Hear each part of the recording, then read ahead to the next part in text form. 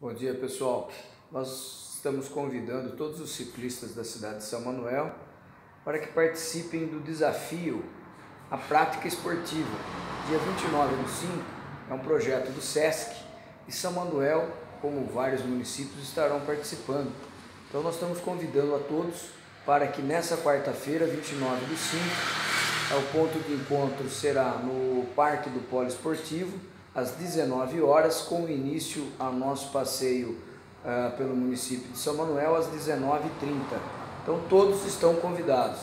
Vamos marcar presença e contar ponto para a cidade de São Manuel no desafio uh, prática esportiva. Tá bom, pessoal? Até quarta-feira.